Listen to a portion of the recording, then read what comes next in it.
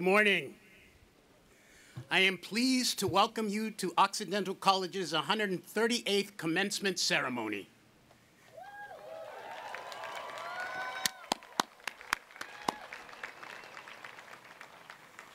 Let us begin by acknowledging Occidental's presence on the traditional, ancestral, and unceded territory of the Tongva people. The Tongva are the original caretakers of the Los Angeles Basin and the Southern Channel Islands, and we pay our respects to the Tongva ancestors, elders, and relations, past, present, and emerging. All please stand. The Reverend Susan, Dr. Susan Young, Occidental College Director of Religious and Spiritual Life, will now give the invocation.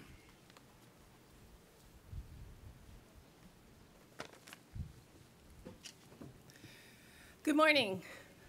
Welcome back, class of 2020. We've missed you.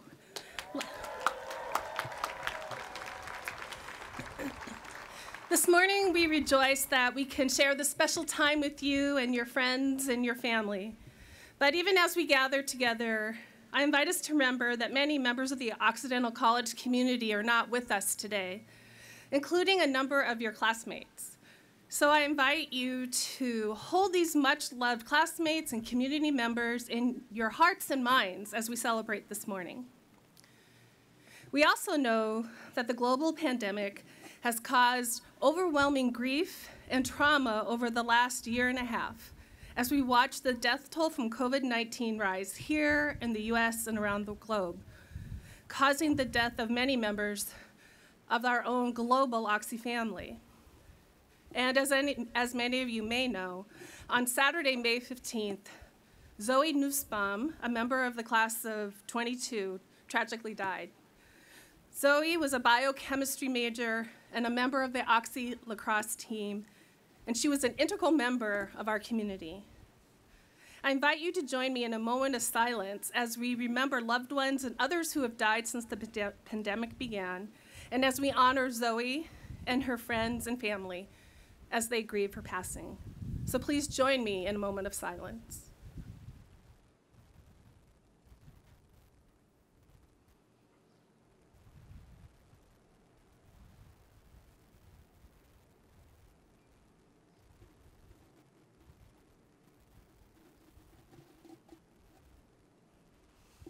Thank you. And I invite you to receive this morning's invocation. Spirit of beloved community, this morning we celebrate the Occidental College Class of 2020 during this delayed yet still joyful commencement service.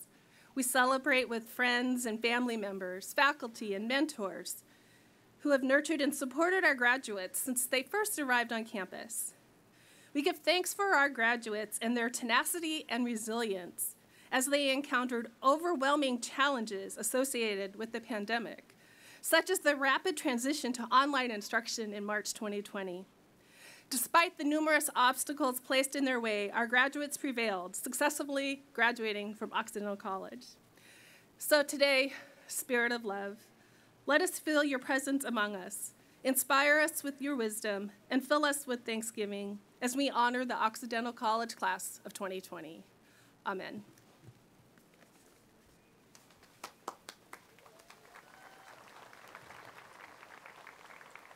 Thank you, Susan, and we will keep Zoe's family in our thoughts today. Please be seated. Uh, once again, let me start by saying good morning. Uh, uh, we can do better than that. Good morning. Ah, for a second there, I thought I was on mute. For those who I've not met, I am Harry Elam, the 16th president of Occidental College. Though I didn't have the honor of being president during your four years, I feel like I know you. Not personally, of course, but like the students I've been able to meet this year, I know about your intellect, your ingenuity, your passion to make the world a better place. And sadly, I can only imagine how it felt when your world turned upside down in March 2020 mere weeks before what should have been a most glorious culmination of your time at Oxy. I'm so glad that you were able to come back to experience this moment, and I'm honored to preside over today's ceremony. And what a glorious morning and day it is. Finally, this day has arrived. For the longest time, we had no certainty as to when or where this event would take place or who would be allowed to come, given the lengthy course of the pandemic and the county and state's evolving public health restrictions. I know many of you wondered whether this in person ceremony would be possible a year or more after you receive your degrees. But President Veitch and the college made a commitment to you last spring, and we would hold an in person ceremony when it was safe to do so. And I'm so pleased the conditions have allowed us to deliver on that promise. In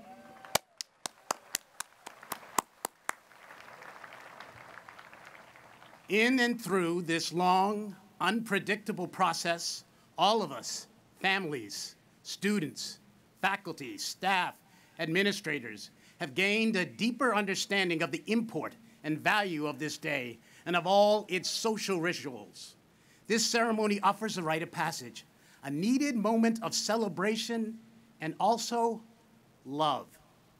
As the great James Baldwin said, quote, I use the word love not merely in the personal sense, but as a state of being or a state of grace, not in the infantile sense of being made happy, but in the tough and universal quest on daring and growth. Here, Baldwin is talking about not about romantic love, but rather a larger engagement with the world around you. Such a love entails embracing, revealing recognition of yourself, self knowledge, so that you are able to help others. Understanding love then as a state of grace, as a state of self defining quest, indicates that the journey won't always be straight, but sometimes crooked and meandering, always demanding, generative, meaningful. The journey of the class of 2020 has been anything but straight. Having been away for Oxy for a year, I know you already in the all, you are already in the midst of your own quest and engagement with the world. Oxy alumni of 2020, your generation is uniquely situated not just to be witness to cultural change, but to be actors in that change. You have a chance to make our society more just, more equitable, more free. The world is broken, was the headline in the New York Times Sunday Review section last year at this time. And perhaps indeed it's still broken. But what is broken can be remade anew. Your Oxy education conferred upon you educational opportunity. It is yours to exercise throughout your lives for the larger social good. The pandemic and all its consequences have delimited our experience, our existence, but it cannot, need not, must not define our existence. For together, we have the opportunity of transforming this time of fear, anger, and anxiety into moments of discovery, collective action, and love. And so, whether here in person or watching on live stream, friends, family, faculty, staff, administrators, alumni, finally, we have the opportunity to reclaim history all together and celebrate the exceptional class of 2020.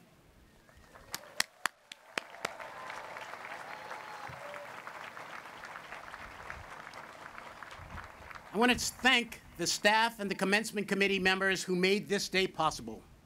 Most particularly, Laura Crescenzo in my office, who, working tirelessly along with the rest of the committee and under exceptional circumstances, has quite simply created magic in the service of making this event especially meaningful for you. Thank you, Laura, and thank you, Celia, and the members of the commencement team for your work on behalf of the class of 2020. I would also like to thank all the volunteers here today for helping out in ways large and small to make today's ceremony special and possible.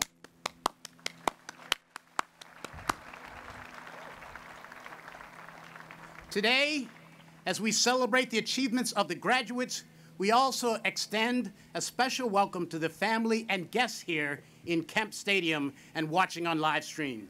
Your support, your sacrifice, your encouragement have been critical to the successes we celebrate today. Will the class of 2020 please rise, turn to the stands, and join me in thanking your parents, relatives, partners, loved ones who helped you reach this day?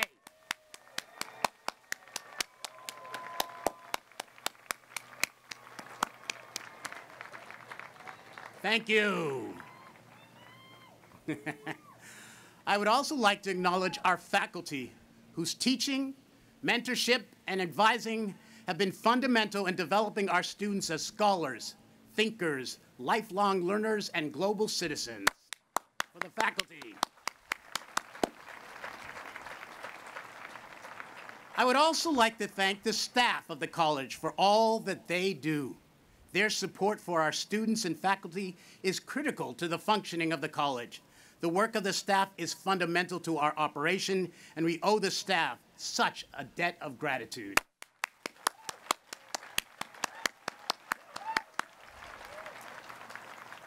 And now, it is my pleasure to introduce Board of Trustees Vice Chair Dave Berkus, member of the class of 1962 and proud parent of a member of the class of 1995, Dave Berkus.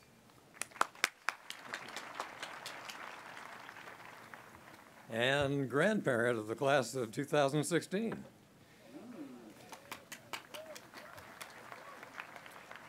Well, I look out at all of you whose last months of your senior year were ripped away from you making your class unique in our college's recent history. So I bring greetings to our accidentally famous, definitely challenged, and as a result, specially revered class of 2020 from your Occidental Board of Trustees. You've experienced a world and a senior year of your college career few in the past ever imagined, let alone experienced. You have stories to tell your grandkids someday that will sound almost as unbelievable to them like rotary phones probably sound to you today. We, your trustees, expect great things from you, our very special class of 2020. But don't forget us. Return to Oxy to share your experience and your expertise. Stay in touch with those professors who gave you those tools to think both creatively and critically. Consider annual gifts to aid scholarships to those future students in need. So here's to you and to your professors from your trustees, the greatest majority of whom are alums, just like you. We send our thanks for your great efforts in the face of adversity. We wish that you make us proud in the years to come. We charge you to become tigers as you enthusiastically approach your careers and solve the problems you inherit as leaders, thinkers, and doers of this next generation.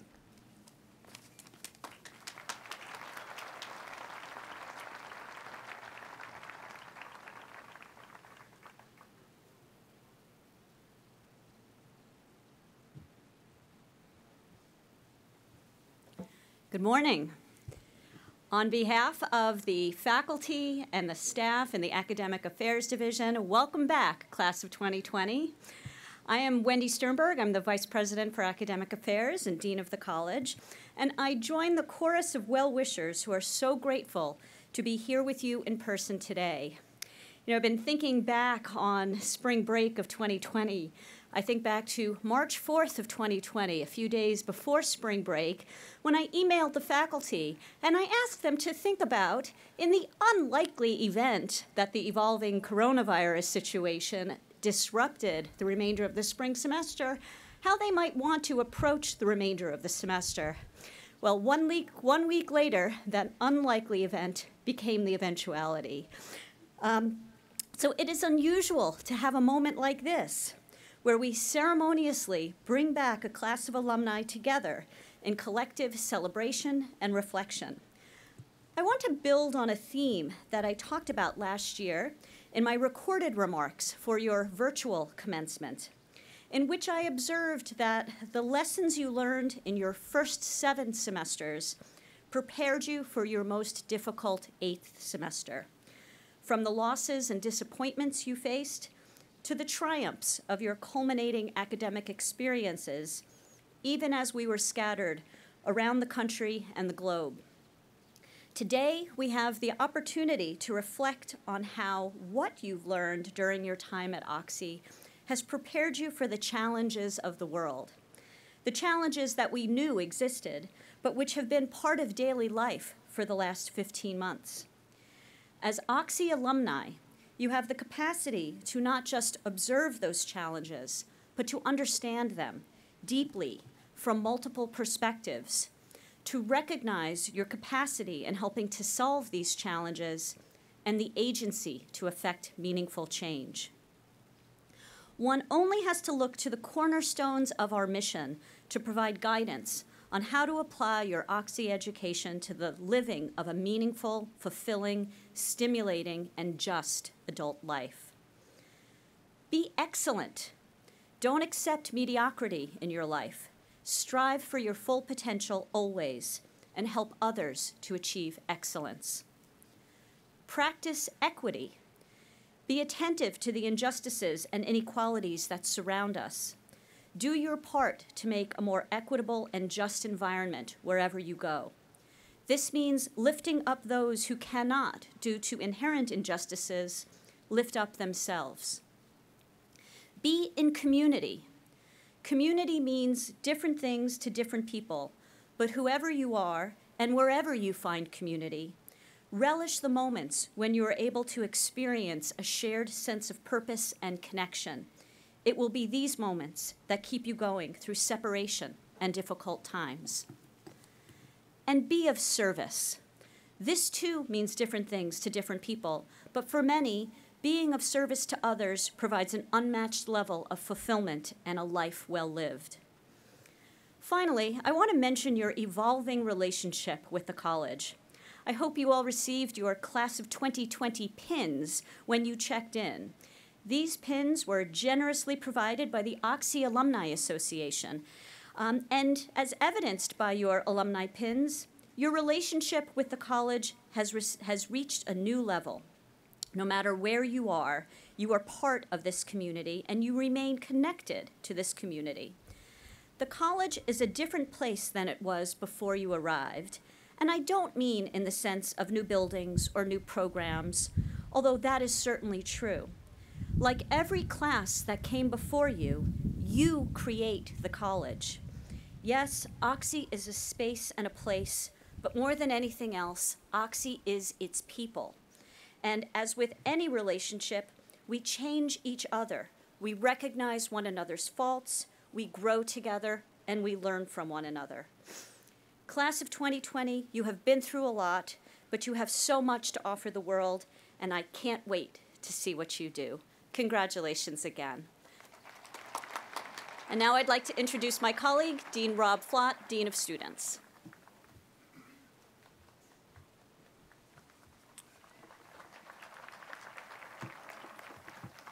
Good morning, everyone. Um, thanks, uh, Wendy, uh, and others who've spoken uh, ahead of me.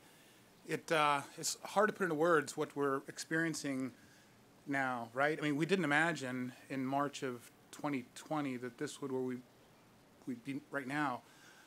But here we are. You all have persevered. You've been patient. You've uh, demonstrated fortitude um, and commitment. Uh, and when I say that, I mean to all the graduates, of course, but I also mean that of the families uh, as as well. And I I wasn't sure how many folks would come back uh, a year later to participate in this event. The fact that there are over 200 of you here tells me that this matters to you, that this is a symbolic and important occasion. Uh, and I can't tell you how proud I am to celebrate it with you as your Dean of Students. Uh, it means a great deal to me. My favorite two times of the academic year are in the fall when students move in uh, to greet them and welcome them, uh, and when students are walking across the stage, and you will be doing that uh, very shortly, and I, I, just can't wait to celebrate that, that with you. Um, you know, welcome back, welcome home, thanks for coming. Um, you know, last year, as others have said, has been strange, unusual, unprecedented. We all had to kind of figure it out. I've been sitting in my living room at a card table for the last year. I get to go back to work on Monday in person. I've been at work uh, virtually, but I get to be back in person on Monday, and I hope many of you are finding your ways to be uh, back in person in your particular um, uh, areas. So, um, and locations and whatnot. So, um, I, I, think I, I'm so curious to know what bigger and better things you all have gone on to. I think you have not been idle in the last year, uh, knowing the class of 2020. You have um, mattered a great deal to the college. You've left your mark at the college. You've changed the college in important ways. Um, and from my perspective, uh, you've left Oxy a better place, even though we couldn't be in person uh, for the last year. And the world is at your feet, my friends. I promise you that. You have a world class education, you have a patience and a tenacity that's undeniable. And, uh, you know, go forth, do well, and come back uh, to visit uh, often. Uh, a special shout out to the first generation students in the crowd. Um, for those of you that are the first in your family,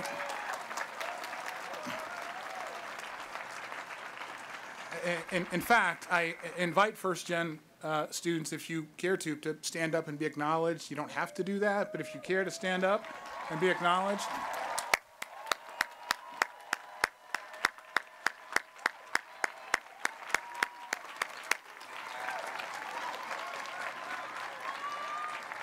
There you go.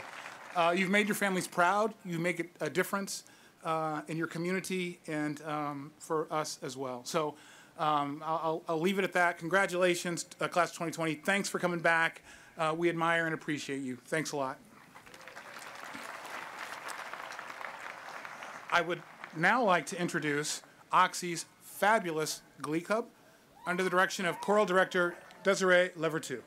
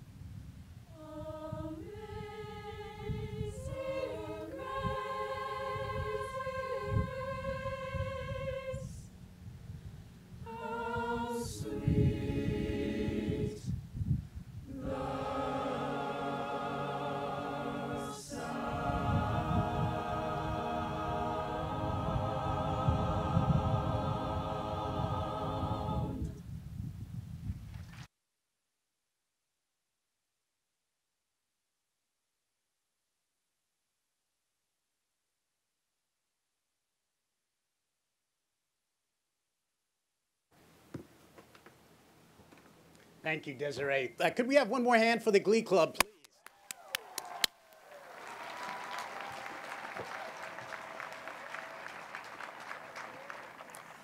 Honorary degrees are given by Occidental College to recognize extraordinary individual accomplishments across the wide spectrum of human endeavor.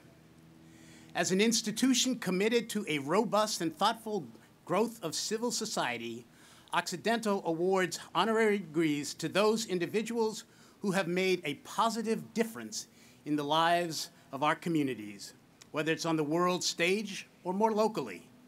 We give acknowledgement, praise, and honor the manner in which these individuals carry forward the mission and highest aspirations of this institution. Let me begin by reading the citation for Joanna Hall Gleason, class of 1972, who unfortunately was not able to join us today. Joanna Hall Gleason, for five decades you've been what the New York Times has called a chameleon-like presence on the stage, in film, on television, and cabaret. Winner of multiple awards, including a Tony for your role as the baker's wife in the original Broadway production of Stephen Sondheim's Into the Woods, you have done it all sing, dance, act, direct, and teach. As a child, you saw yourself becoming a fifth grade science teacher. By the time you graduated from high school, where you were mentored by drama teacher John Ingle, class of 1950, you knew you were going to be an actress. At Oxy, theater professors Omar Paxson and Alan Freeman were the ones who believed in you and saw you as this daydreaming girl who felt always like an outsider late to the party, you called yourself. Professor Freeman says he never had any doubts about your talent, which were featured in three Oxy productions that were performed at the Kennedy Center American College Theater Festival. I was never surprised at her career, Freeman says. She could play any role, and she still does. After graduation, there was no instant success. You worked hard taking whatever jobs were available in regional theater, summer stock, road shows, and television. That hard work paid off. With your Broadway debut in I Love My Wife, that brought you a Theater World Award, the first in a series of notable stage performances that included The Normal Heart and Dirty Rotten Scoundrels. There isn't room to list all of your film and television credits and roles, where you worked with such directors as Mike Nichols and appeared on such shows as Murphy Brown, Friends, and The West Wing.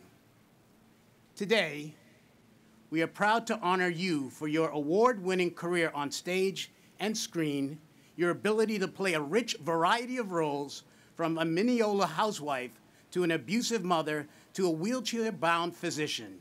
You represent an inspiring example of the power of storytelling and how the performing arts can illuminate and inspire the human condition.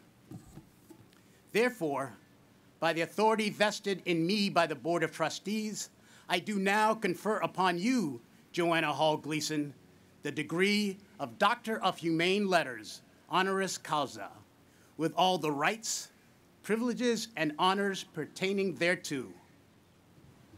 With pleasure, I accept the degree on Joanna's behalf.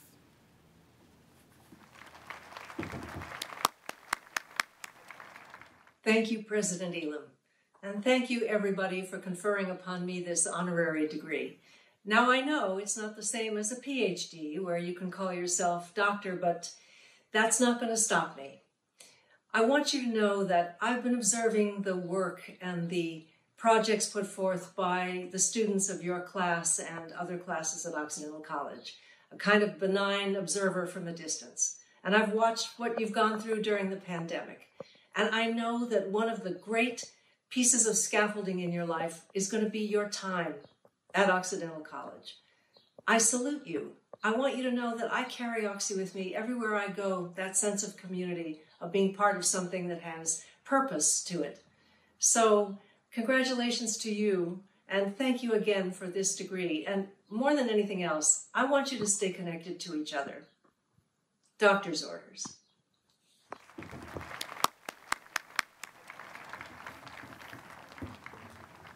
I would now like to ask Gabriella Cowperthwaite, class of 1993, to join me at the podium.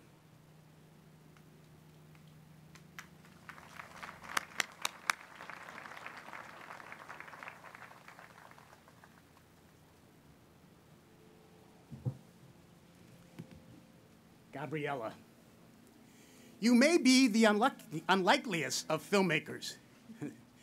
you were a political science major pursuing a graduate degree when during a trip to Guatemala you saw a woman toting a video camera in her backpack and interviewing children on the street.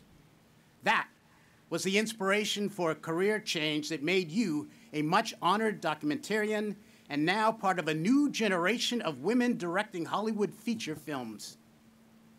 You had been a successful maker of television documentaries for Discovery, ESPN, and National Geographic for 12 years when you happened to read a magazine story about the orca who killed his trainer at SeaWorld. That triggered questions in your mind that led to the creation of Blackfish, the acclaimed 2013 documentary viewed by millions that ultimately led SeaWorld to announce that it would end its breeding program and all killer whale performances at its theme parks. Belated confirmation.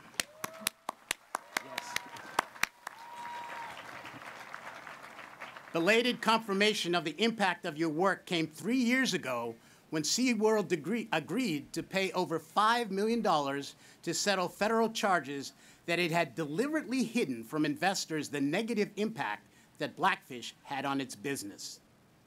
The compelling storytelling that made Blackfish so powerful brought Hollywood agents and managers calling.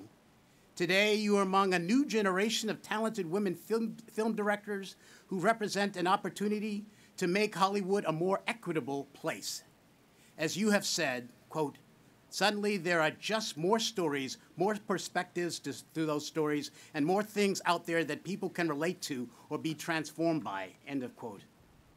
Today, we are proud to honor you, a filmmaker who didn't go to film school, for telling stories that need to be told, for using film as a catalyst for change, and for bringing new perspectives and new stories to the film industry. Therefore, by the authority vested in me by the Board of Trustees, I do now confer upon you, Gabriella Cowperthwaite, the degree of Doctor of Humane Letters, honoris causa, with all the rights, privileges, and honors pertaining thereto.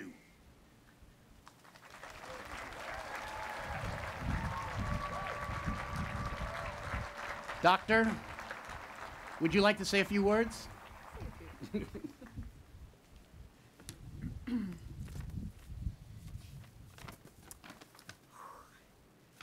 Good morning, class of 2020. I'm Gabriella Cowperthwaite and want to thank Occidental College um, for bestowing me with this unbelievable honor. I continue to be so proud of what the school does, what it stands for, and how it made me feel blah, blah, blah, years ago. um, to all of you out there, I'm going to be yet another person to tell you, oh my gosh, what an insane year. What an insane couple years. I can't imagine what it was like for you last spring. But I hope you get it now that it wasn't about you being ready for the world, it was about the world being ready for you. And it wasn't. It didn't deserve you yet. It hadn't earned the butterflies in your stomach. It hadn't created an awesome place for you to land with your dreams and your momentum and your diplomas, it hadn't earned you yet. Now that things are starting to break open again, I hope that will start to shift, which, which brings me to Occidental. I've loved the opportunity to reflect upon what my experiences here all had in common. So I took political theory with Roger Boesche, who suggested that Machiavelli's The Prince might have been written as a strategy to unseat a prince. I took Women in Politics with Jane Jaquette, who led by example, and she told me that it was cool to have a thoughtful opinion and to express it. I took theater with Alan Freeman, who told me to channel my broken nose that I had had in a soccer game earlier that day, to channel that energy into the role I was playing in a production that night. Crackers. Crazy. I took philosophy with Marcia Homiak, which would make me a lifelong Dodgers fan. Whew. These courses didn't just teach me about the world, they convinced me that the world was exciting. That's it. There's nothing more to, that's really it, right? That's the key. Because when I started making films, that is why. Not because I was a filmmaker who had decided and studied and embraced that title, because I hadn't done any of those things. I had never gone to film school. I'd never, I didn't take a, even a film course at Oxy because I didn't know it was a thing. I, did, I loved films my entire life, but when I made a film called Blackfish about the killer whales at SeaWorld, it, I didn't make it because I thought of myself as a filmmaker.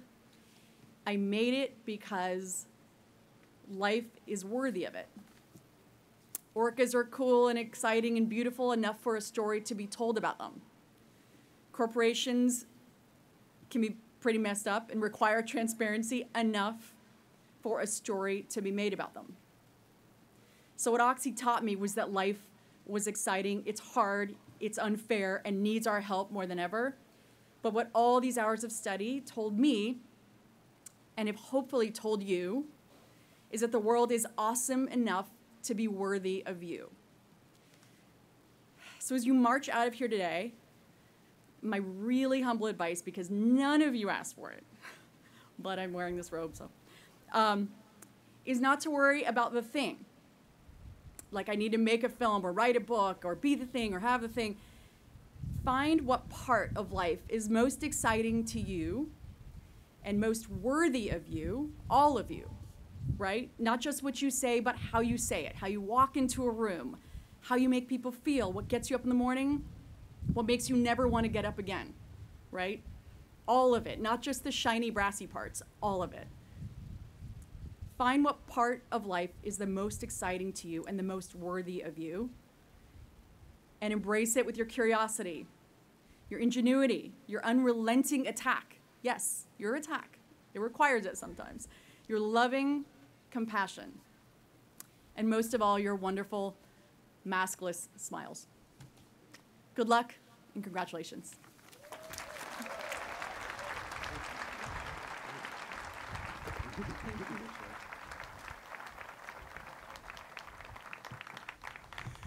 And now it is my great pleasure to bring someone to the podium who needs no introduction to the class of 2020. President Emeritus Jonathan Veitch, who will deliver the commencement address.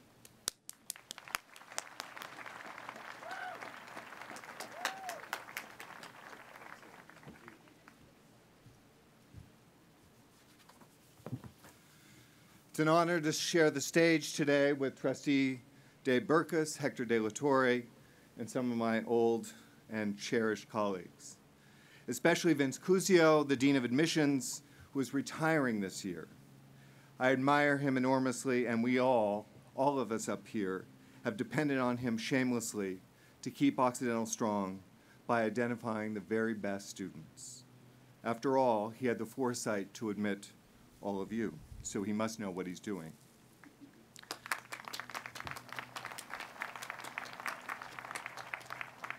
Despite his affection for the San Francisco Giants, a fact I have magnanimously overlooked over the last few years, I consider him a good friend. He would have me note that the Giants are a few games up over the Dodgers in the standings right now. He needs that kind of positive reinforcement. I would note that the Dodgers are the reigning world champions. I also want to say hello to some of my old friends in the audience, Jenny and Barry Crosswaite, whose son Johnny is graduating this year, and offer a belated welcome to Harry Elam. Believe it or not, this is only the second time we have been in a room together. I could not be more pleased to hand off the baton for him, and I think we need to, a round of applause for Occidental's 16th president.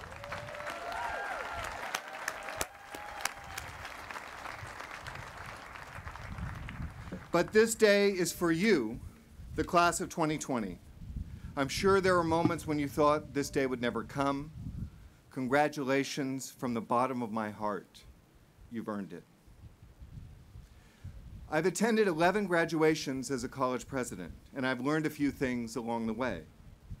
I know that brevity is a virtue, so I will aim to be brief. Humor is appreciated. I will do what I can. A few memorable lines are always nice. Jon Stewart once offered this advice at a graduation ceremony Never underestimate the value of competence, because in a world of incompetent people, that makes you extraordinary. That's both memorable and funny. I know that star power helps in a graduation speaker, and I'm afraid I can't help you there.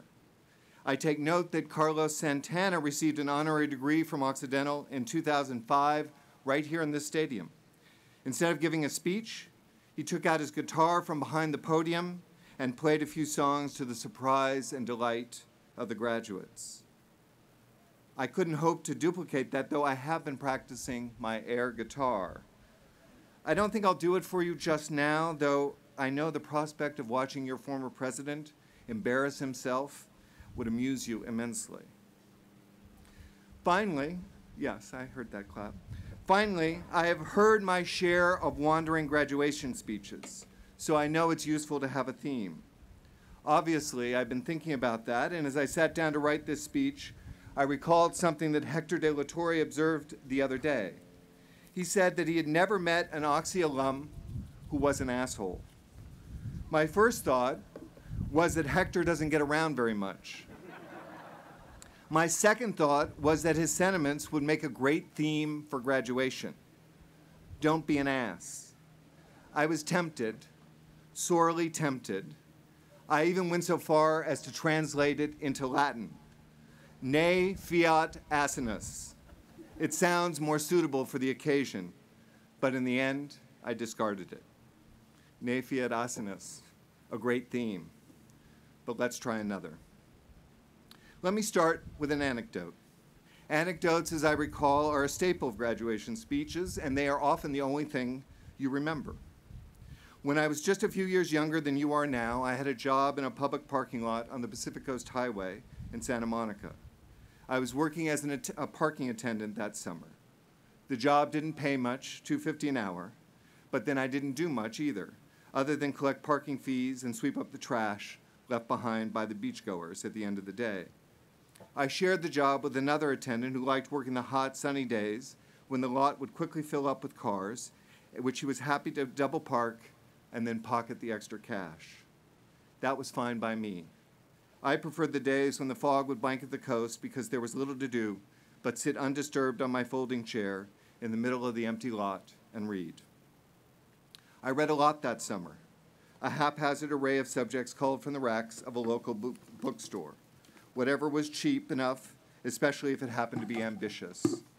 I was in love with books, both the worlds they created and the literary world around them, though I didn't have much in the way of guidance. Have I mentioned the importance of books? If you've gotten one thing from your college experience, I hope it's a love of books, along with your own idiosyncratic set of writers who will serve as your constant companions, interlocutors, and guides. But I digress. The book I remember best was a copy of Henry David Thoreau's Walden, which had been deaccessioned from the Massapequa Public Library. It changed my life. Thoreau writes, I went to the woods because I wished to live deliberately, to front only the essential facts of life, and see if I could not learn what it had to teach, and not, when I came to die, discover that I had not lived. I did not wish to live what was not life. Living is so dear. He had me there. In this passage and dozens like it, Thoreau seemed to give words to an inchoate set of feelings that I was only just beginning to sort through. The prospect of living deliberately, that is to say, choosing one's life according to a set of ideals, rather than simply blundering through it, as I had seen others do and feared I might do as well. It spoke to me. But Thoreau did not just talk a good game, he made a commitment to a memorable experiment in living. And to pull it off, he had to take the sort of extreme measures that readily appealed to an adolescent imagination. Nothing less than building a hut in the woods and living there in relative solitude for the better part of two years. A hut beside Walden Pond, a folding chair beside the Pacific Ocean, or for that matter, a folding chair here in Kemp Stadium. Was it too much to think that I, that you, might follow his example? In The Art of Life, the philosopher John Kekes observes most human lives are spent in routine activities. We sleep, wash, dress, eat, go to work, shop, relax, balance a checkbook, clean the house, do the laundry, have the car serviced, chat, pay bills, worry about this or that, take small pleasure in small things. We do all this in intervals between familiar milestones birth, maturation, aging, and death. We graduate, find a job, fall in love, fall out of love, set up a house, succeed at some things, fail at others, change jobs, get fired or promoted, save for retirement, and retire. Somewhere in the midst of all this, submerged in these routines and milestones, there is or should be a trajectory, a set of commitments, a vocation that imbues our lives with overarching purpose and meaning. Not to have one's life organized in view of some end is a mark of great folly, Aristotle warns us. But it is worse than folly. It is a betrayal of our potential and hence the fullest expression of our humanity. Soren Kierkegaard gives us a better sense of the stakes involved when he asserts that at each person's birth, there comes into being an eternal vocation expressly for him or her. To be true to oneself in relation to this eternal vocation is the highest thing a human being can practice. Purity of heart, he says, is to will one thing. But what is that one thing? And how do we know when we found it? Thoreau did not construct his hut at Walden until he was in his late 20s. Before that, his search for a meaningful vocation entailed several failed experiments. First as a school teacher, later fabricating pencils for his father's business and working as a surveyor. He would continue to make pencils and work as a surveyor off and on throughout his life whenever he needed money, but neither became his calling. Thoreau summarized the thinking along, along with the trial and error that went into the process of discernment. He tried becoming a teacher, but found that his expenses were out of proportion to his income. He didn't like the prospect of tailoring his opinions to his students. And since, as he puts it, he did not teach for the good of my fellow man, this was a failure. After that, he turned his attention to trade, but found that it would take 10 years to get underway, and, the, and by then, he would probably be on his way to the devil. He struggled with the expectations of his friends and family, but finally concluded that he was best suited, of all things, to picking huckleberries. That surely I could do, he wrote, and its small profits might suffice, for my greatest skill has been to want but little. It's all here, a process of discernment that is probably all too familiar to you, a desire to conform to the wishes of friends and family, the problem of earning enough to live on, project without principle, conformity and self-betrayal, Perhaps most importantly, Thoreau's process of discernment involves an examination of his desires in order, as he puts it elsewhere, to separate the superfluities from those things which are necessary to life. And in doing so, to adjust his desires to their proper aim, to want but little. The only thing surprising is the conclusion itself. I thought often and seriously of, plucking of picking blueberries. At this point, I can see your parents squirming uncomfortably and rolling their eyes. He's not seriously going to recommend picking huckleberries as a career, is he? Your parents might even be thinking, don't be an ass was a better theme. I wouldn't blame them. Well, no, let me reassure you, I'm not going to recommend picking huckleberries as a career choice. But kind of, yes, I'm going to do precisely that. Metaphorically speaking, of course. This is college, after all. You may be surprised that Thoreau's good friend and patron, Ralph Waldo Emerson, harbored similar reservations about Thoreau's ambitions or seeming lack thereof. In his eulogy for Thoreau, he characterized him this way quote, I cannot help counting it a fault in him that he had no ambition. Wanting this, he was the captain of a huckleberry party. In his eulogy over his dead friend, Emerson laments that Thoreau possessed a certain capacity for command that remained undeveloped. Still worse, even when Thoreau takes command, he does so in comic form, as the captain of a Huckleberry Party. The implication seems to be that Thoreau has wasted his life on berries. This is a serious charge that needs to be answered. What are we to make of it?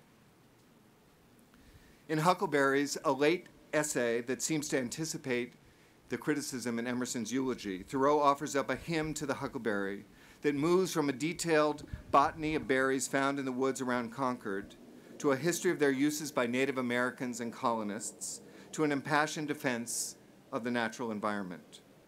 Far from being trivial, gathering huckleberries turns out to combine the study of nature with environmental justice, both of which Thoreau pioneered and is rightly recognized for. Thoreau describes the process of gathering huckleberries as well, more than simply, more than simply gathering huckleberries. For him, the pursuit of huckleberries becomes a liberation and an enlargement, a liberal education, if you will, and a better one, he insists, than we are likely to get in college. Why such haste, he asks, to hurry back from the huckleberry field to the college yard? There, among the huckleberries, is the university itself, where you can learn the everlasting laws, medicine, and theology, all to be had without the necessity of burning the scholar's lamp, but simply for the joy of living. The joy of living. I will come back to that. But just now, I want to observe that for Thoreau, the huckleberry is the measure by which we weigh our own moral standing and the economic arrangements that contribute to our well being. If the huckleberry offers a taste of Eden and an education in medicine and theology, it is also the standard by which we measure our fall from grace. Thoreau is emphatic about that, detailing the way the huckleberry is, is desecrated by our pecuniary interests, by the division of labor necessary to harvest them, and by the privatization of land that makes that possible. Quote, the ambrosial and essential part of the fruit is lost with the bloom, which is rubbed off in the market cart, he says in Walden. The true fruit of nature can only be plucked with a fluttering heart and a delicate hand. A fluttering heart and a delicate hand. A soul aligned with nature and with itself. Who would have imagined that the stakes of a huckleberry party could be so high? And what does the soul discover in its alignment? Quite simply, and here, for those who are wondering, is my theme the joy of living. For Thoreau, the huckleberry is a lure, a token, and very, very sweet. The, the huckleberry is, in short, what joy tastes like. Thoreau writes that the huckleberry leads us out of doors, away from our routines and preoccupations, to distant hills, fields, and swamps where we find them in profusion. Every bush and bramble bears its fruit. The very sides of the road are a fruit garden. The earth teems with huckleberries, blackberries, thimbleberries, fresh and abundant. What means this profusion of berries, he asks. It is a question of theological import. The answer seems to be profusion itself, the sheer plenitude and variety of nature. And that plenitude is available to each one of us uh, uh, for the most simple and profound reward of living. All we have to do, Thoreau reminds us, is simply pluck and eat as we go, gathering health and happiness and inspiration along the way. You've lived through a somber year, a year of racial violence, estrangement from our fellow citizens, doubts about the viability of our democracy, a global pandemic, lost loved ones. You will face other challenges, but do not forget do not forget just how much joy and beauty there is in the world. Accept every invitation to a Huckleberry party. Take your books with you and remember your Latin. Ne fiat asinus. Don't be an ass. With the help of Oxy's food service, I put together a little gift for you of blackberries. Huckleberries are a little hard to come by in this part of the world. They are on a table waiting for you as you walk out of Kemp Stadium take some with you. As a token of my gratitude for the extraordinary opportunity to serve as your president and as a token of the world's many, many delights which now awaits you. Congratulations, class of 2020.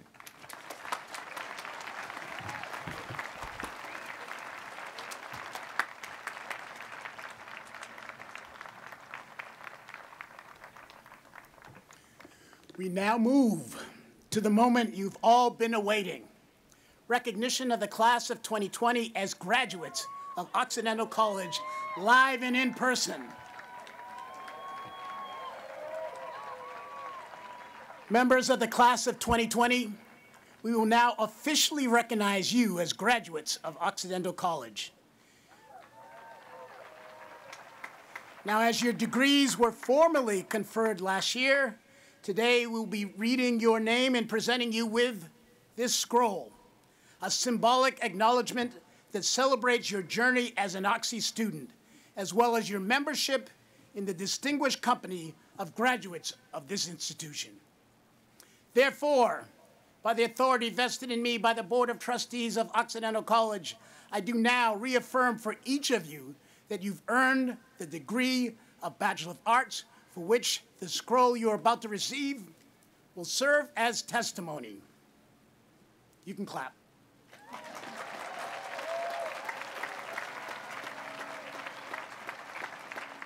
So audience, as a reminder, please remain in your seats and remain in the stadium until the commencement ceremony is at end.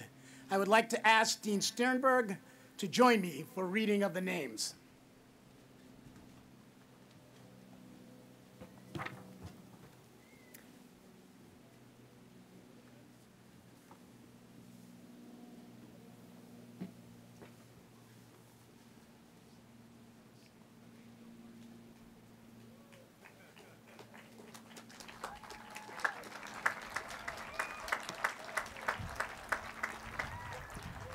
Holly K. Adams, cum laude.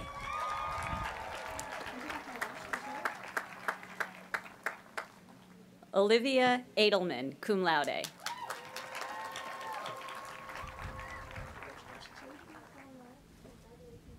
Carla Alas Lopez, cum laude.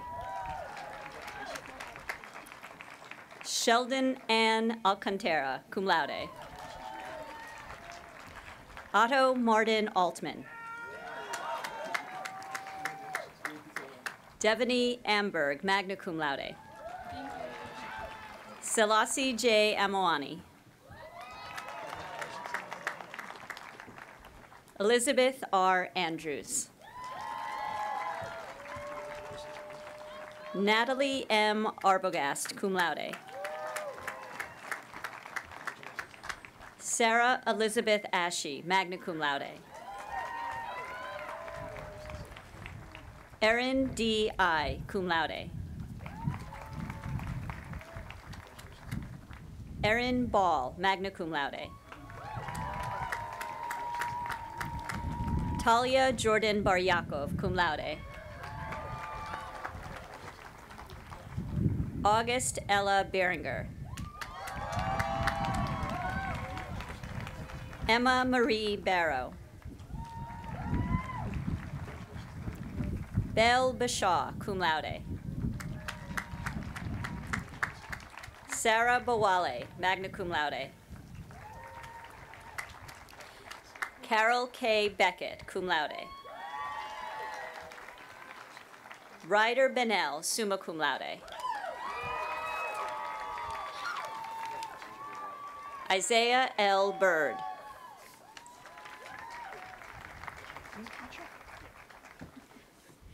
Patrick Bender, cum laude. Ada Blige, magna cum laude. Alessandro Matteo Bonomi. Luke Kavanaugh Ikaika Boyer, magna cum laude. Camille Breshva, summa cum laude. Anna M. Busey. Henry Walker Butenshame. Edward Kane. Madeline Callis, cum laude. Cassandra G. Carter. Sydney Carter, cum laude. Hannah R. Case, magna cum laude. Peter Chow. Charlene Lee Chen, cum laude. Monica Chernoff, cum laude. Lauren Lee Min Chin, cum laude. Meredith Louise Cook, cum laude. Jane Catherine Crosby Schmidt, summa cum laude. Jonathan Crosswaite. Skylar Grace Cummings. Elena G. Daniel, cum laude. Henrik Della Torre, cum laude. President Elam will be assisted in recognizing Henrik Della Torre's degree by his father, Hector Della Torre, member of the Board of Trustees.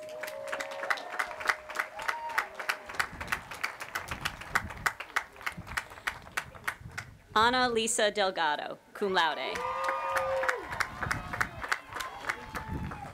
Connell Manis Dennison, cum laude. Cade James Denyer. Annalie Dern, cum laude. Jagmeet Kaur Dami, cum laude. Lindsay Marie Diaz, cum laude.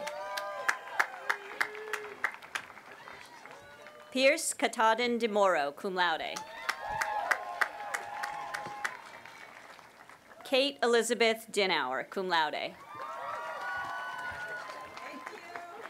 Ronise Samela Viola Doss.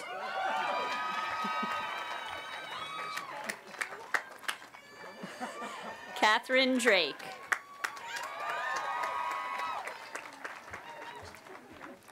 Alexandra Marie Duncan. Jacob S. Eggert.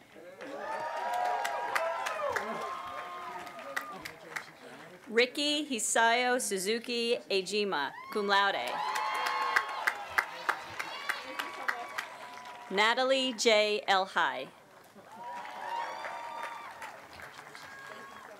Dawson J. Engstrom, cum laude. Lena Ebinda Itoka. Jacob Christopher Farner. Jack A. Fernandez, cum laude. Nicholas Andrew Fotopoulos.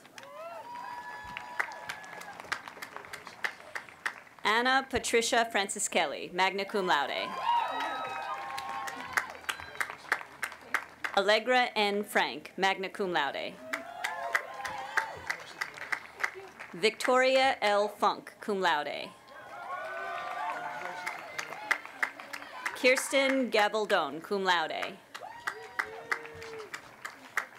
Brendan Galbraith, cum laude. Nyla Gaddison. Isabel Grace Geddes, cum laude. Haley Christina Gill. Isaac Glasser, cum laude. Milo Raymond Goodell, cum laude. Riley Goulet.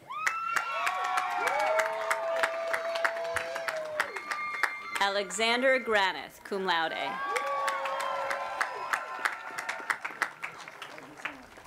August Marion Graves. Natalia Luna Guerra, cum laude.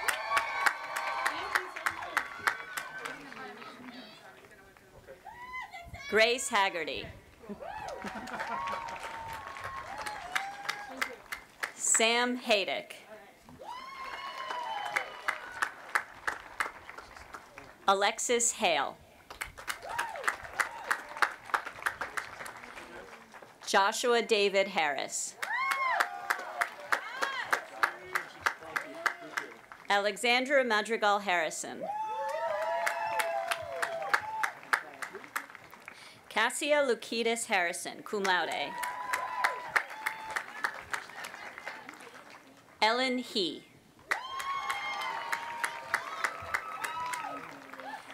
Nicola Kim Henderson, cum laude.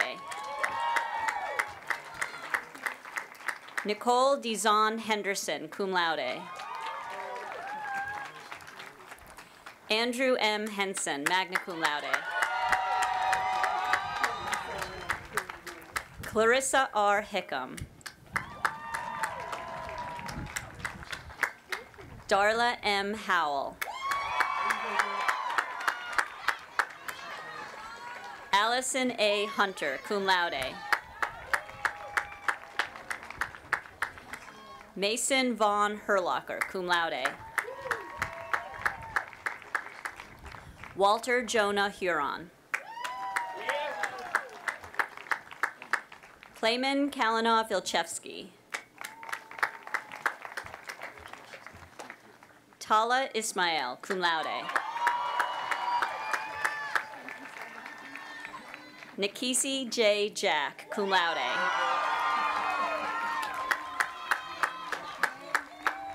Ian Jan, magna cum laude. Jessamine Serena Jeter. Maxime Jolie, cum laude. Taylor Jung. Cleo Charlotte Juster. Niharika Kadavakalanu. Giselle Kaneda. Masamu Kawada, magna cum laude. Michaela R. Kiesler, cum laude. Malvika Khanna, cum laude. Micah Kirscher, magna cum laude. Gregory M. Kleinman, cum laude. Christian Klein. Lucinda Claire Kolpa. Tao Wang Quan, magna cum laude. Nicholas Paul Lakin. Jimin Lee. Junpyo Lee, cum laude. Yuri Lee, cum laude. Emily Ann Leonard, cum laude. Jaden Mark Levitt, cum laude. Daryl Lindsay Lewis. Bryce Lewis Smith, cum laude.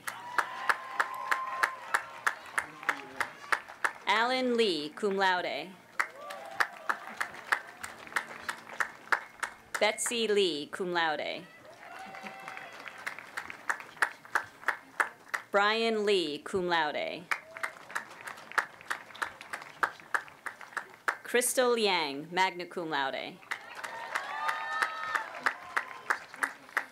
Nicholas Joseph Lapari. Haley Joyce Lister, magna cum laude. Michael E. Luongo, magna cum laude. Sitlali Madrid, cum laude. Saya Maeda, cum laude. Ariadne Macrodakis, magna cum laude. Stephanie A. Malter.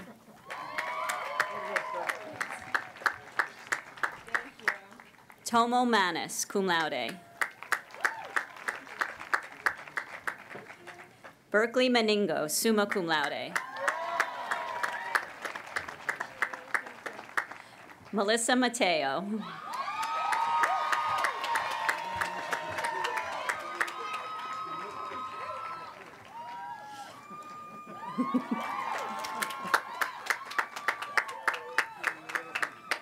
Samuel W. Maury Holmes.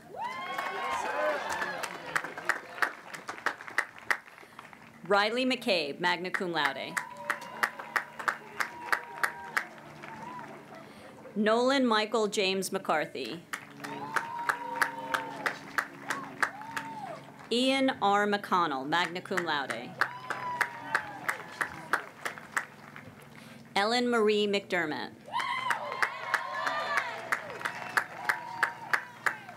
Logan Douglas McIntyre. Milan McLaughlin. Grace Metos, magna cum laude. Annika Moen, magna cum laude.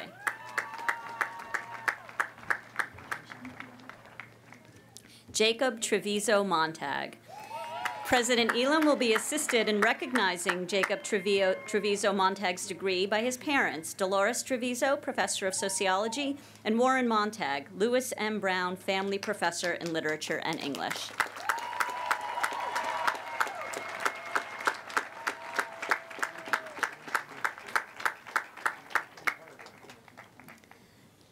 Baxter D. Montgomery, Jr. Elliot Lynn Moore, cum laude. Ella Marie Morner Ritt, magna cum laude. Tegan Muker, magna cum laude.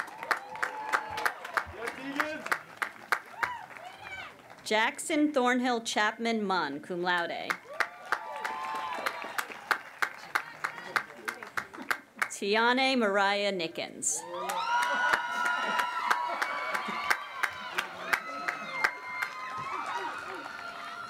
Tanner Michael Nichols, cum laude. Cyrus Nordhaugen, cum laude. Isabel Norstein, magna cum laude.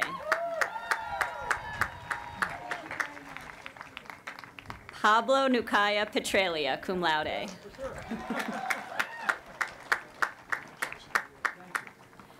Spencer R. Nussbaum.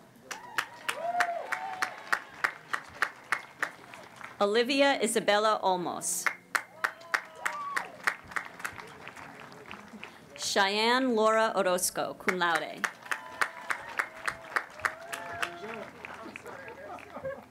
Siana Emanuel Ortiz, cum laude. Alessandra K. Palicia, cum laude.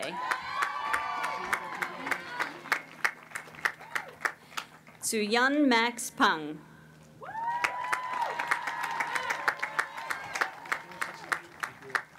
Sergio Perez. Claire E. Pollard.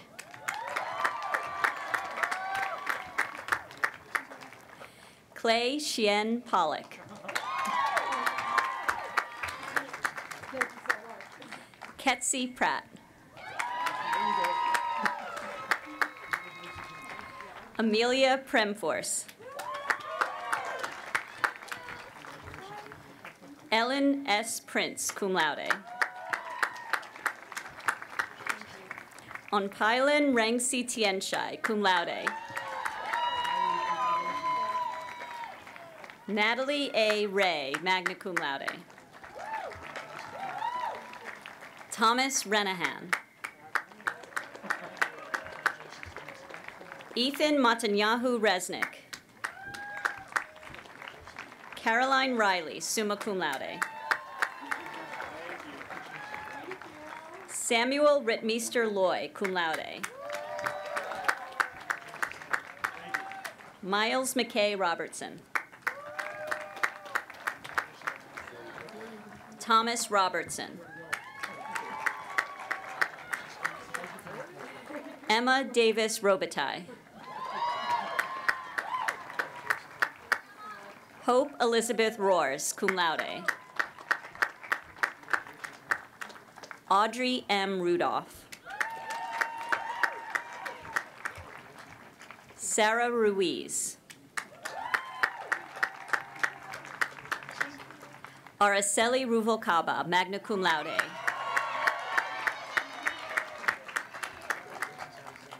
Gabriela Saliamones, cum laude. Bianca Sanchez Freire, cum laude. Evan Serafian, cum laude. Naomi W. Schiller, cum laude. Lawrence Seabrook, summa cum laude. Josiah R. Sheffy.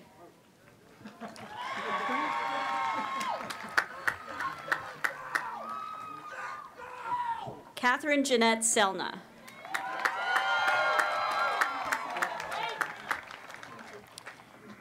Perrin Shine. Wendelin Joyce Sia. President Elam will be assisted in recognizing Wendelin Joyce Sia's degree by her mother, Jane T. Sia, Accounts Payable Manager.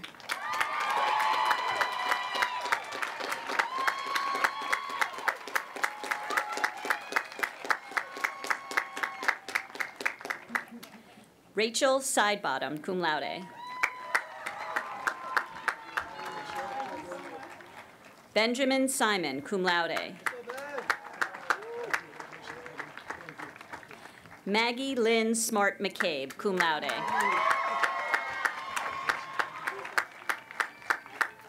Ben R. Smith, cum laude. Andres E. Sobolvado.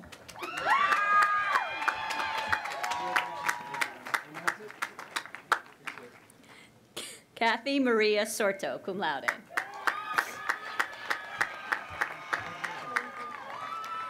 Kayla Rose Steinke. Aaron Mitchell Stemp.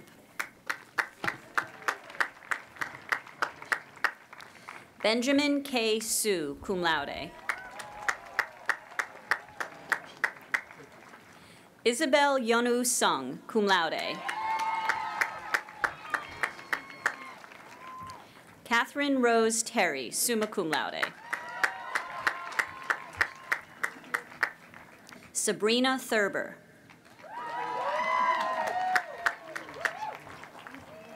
Pancho Tian.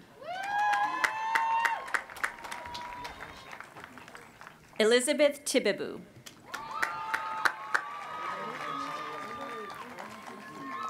Javian Morris Tinsley.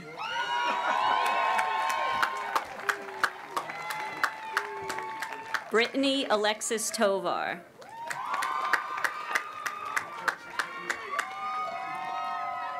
Kaylee J. Treskin, cum laude. Alex Richard Skinner Toomey, magna cum laude.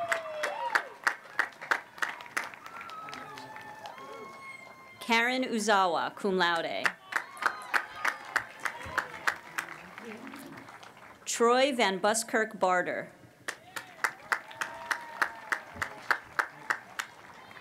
Ian Lane Ramsey Van Duzen, cum laude.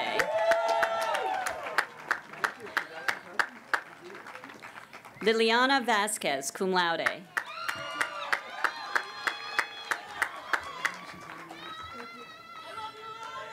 Sydney Shisgal Vermilia, cum laude.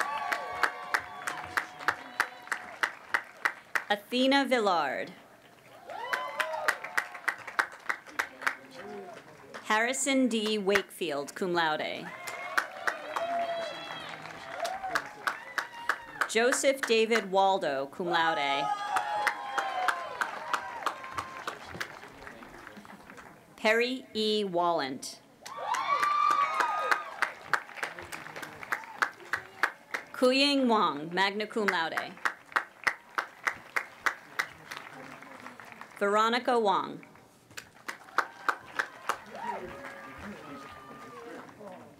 Tyler Christopher Webb.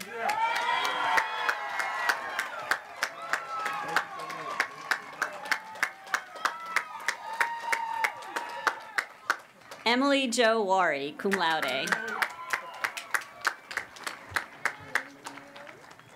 Christine Lee White, magna cum laude. Marie Charlotte Rita Whitmore.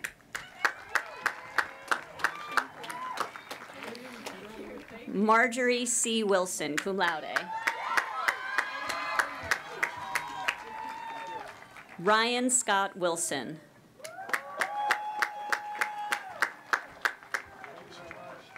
Rachel Jean Winningham.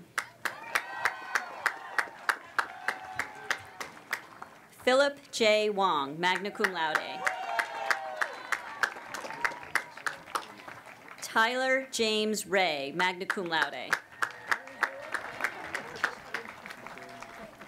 Dominique Wright.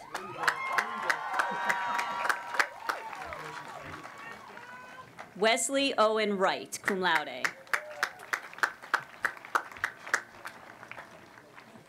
Jade Swanshay Wu. Jia Qian Wu, cum laude. Yen Yen, summa cum laude. Hui Shi Yang.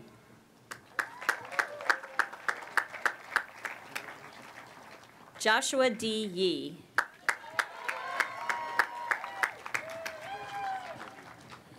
Kirlia Chin Young, cum laude. Jenny Yu.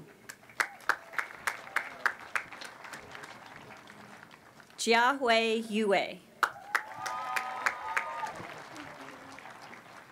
Yu Zhang. Gianna Lee Zinnan, magna cum laude. Ian Matthew Zunt, cum laude.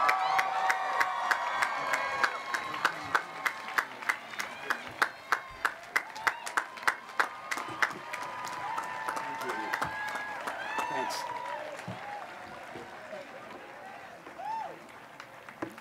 Members of the faculty and staff, family and friends, it gives me great pleasure to introduce to you the graduates of Occidental Class of 2020. Graduates, please stand.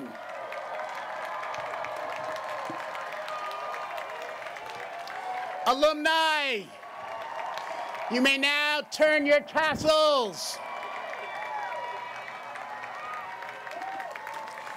Please remain standing and join the Occidental College Glee Club in singing of the alma mater Occidental Fair.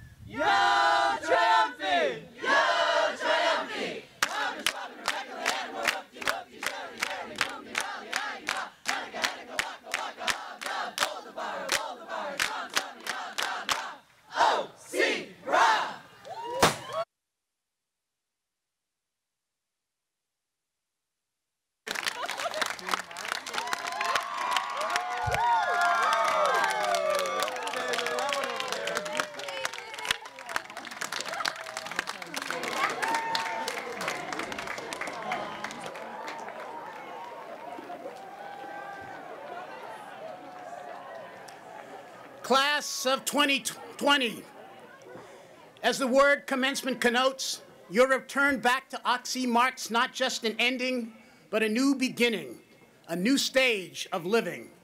Today, you reaffirm that you have indeed stepped out with much anticipation into your future. Even as this future is uniquely yours, please know that you are not alone.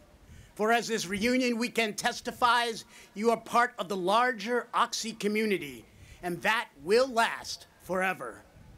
As alumni, you have a special role to play in the college, born of your pride, your ownership, your sense of belonging to this institution. You are an integral part of our future. Accordingly, this day's ceremony and your return here to Oxy signal not the final closure of your undergraduate student careers, but also the beginning of a new, poignant, and powerful relationship with the school. This relationship with Oxy, this blanket of Oxiness, as some students recently described it, is indeed special, as it has the power and the potential to cover and enrich us all. So let us celebrate. Let us be thankful. Let us rejoice in all that this day holds and all that your future will bring you.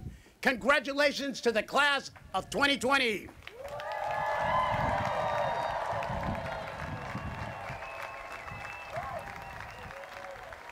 Please remain standing for the benediction offered by the Reverend Dr. Susan Young.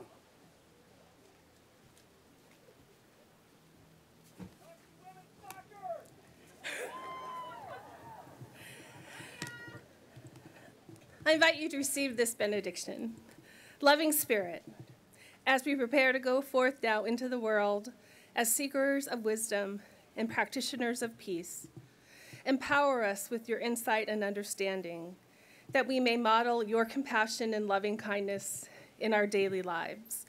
Embolden us to engage in the arduous work to create a more equitable society as we challenge oppressive social structures and systems and work together to repair our broken world. Inspire us to boldly follow our dreams and to live a life grounded in authenticity, integrity, empathy, and deep joy. Amen.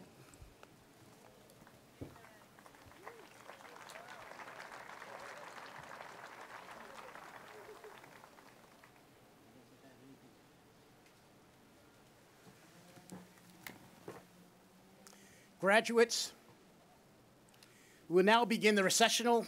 Audience members may be seated, and we ask you please to wait in your seats until the graduates and the platform party have been ushered out. Thank you.